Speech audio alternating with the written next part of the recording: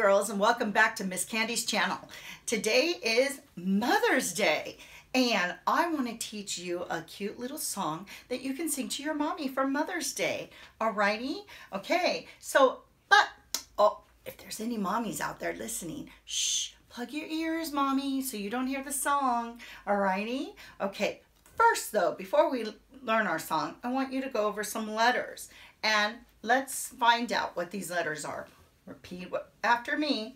M O M M Y. Do you know what that spells? Mommy. of course it does. Mommy. And this is how the song goes. All right. Ready? Here we go. I have a very special friend and mommy is her name. O M O M M Y M O M M Y M O M-M-Y and mommy is her name. Oh, alrighty. So you keep practicing that song.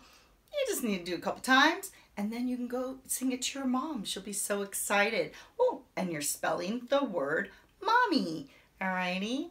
Okay, tell your mommy very, very special Happy Mother's Day. And I'm shouting out to all my mommies out there. Have a very wonderful and special Mother's Day. Whoop, whoop. Alrighty. I will see you later. Don't forget to press my like, subscribe to my channel, and leave me a comment. Oh, I love reading your comments. Alrighty. Thank you. Mwah.